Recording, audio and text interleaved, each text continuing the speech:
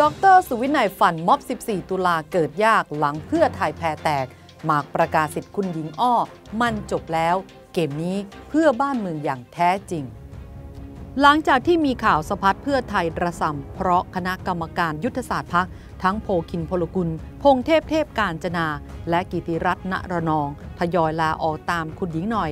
ขณะจิรายุห่วงทรัพย์ลาออกจากรองเลขาพัก และยังมีรายงานว่า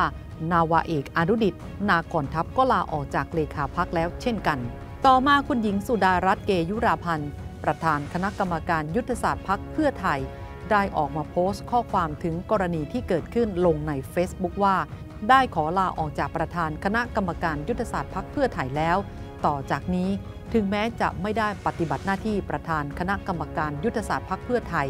แต่ก็ยังเป็นสมาชิกพักที่พร้อมจะยืนหยัด ต่อสู้เคียงข้างกับประชาชน และร่วมผลักดันการแก้ไขรัฐธรรมนูญกับประชาชนให้สำเร็จ ตามแนวทางที่คณะกรรมการยุทธศาสตร์ ได้เสนอไว้ทั้ง 5 ยติ จากนั้นนายวัฒนาเมืองสุข ก็ได้โพสต์ Facebook ถึงกรณีดังกล่าวด้วยว่า คุณหญิงสุดารัตน์ประธานคณะกรรมการยุทธศาสตร์พักเพื่อไทย ประกาศลาออกจากตำแหน่งอาจารย์โพคินและท่านพงเทพ ประกาศลาออกตาม ตนที่ได้รับตำแหน่งแต่งตั้งให้เป็นประธานการแก้ไขรัฐธรรมนูญของพรรคเพื่อไทย ซึ่งอยู่ภายใต้คณะกรรมการยุทธศาสตร์ของพรรคที่มีคุณหญิงเป็นประธาน จึงขอใช้โอกาสนี้ลาออกจากคณะกรรมการยุทธศาสตร์ด้วย แต่ยังเป็นสมาชิกพรรคที่พร้อมจะต่อสู้เพื่อประชาธิปไตยเหมือนเดิม ส่วนตรีรัศริจันทโรพาสก็ขอเป็นอีกหนึ่งคนที่ได้ประกาศใน Facebook ลาออกจากตำแหน่งโฆษกกรรมการยุทธศาสตร์พักเพื่อไทย พร้อมระบุ ขอยืนเคียงข้างพี่น้องประชาชนในการต่อสู้เพื่อประชาธิปไตยอยู่เสมอ ล่าสุด ดร สุวินัย พรนวลัย ประธานยุทธศาสตร์ วิชาการสถาบันทิศทางไทย อดีตอาจารย์ประจำคณะเศรษฐศาสตร์ มหาวิทยาลัยธรรมศาสตร์ ได้ออกมา Facebook ถึงปรากฏการณ์ดังกล่าวด้วยว่า หมากประกาศสิทธิ์ของคุณหญิงพจมาน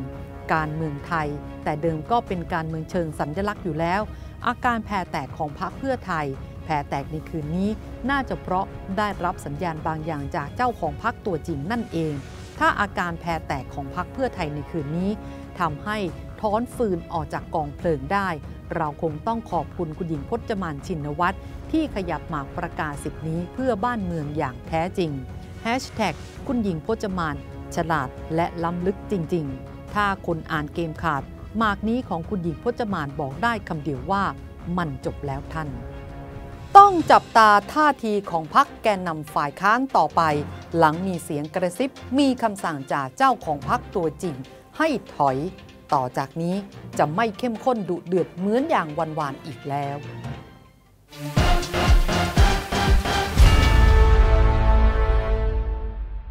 ฝากกดไลค์ กดแชร์ กด Subscribe เพื่อไม่พลาดข้อมูลข่าวสาร และสถานการณ์สำคัญ ทันทุกเหตุการณ์ พร้อมด้วยการวิเคราะห์เจาะลึกทุกข้อมูลข่าวสาร เพื่ออนาคตที่ดีของประเทศไทย จากทิศทางไทย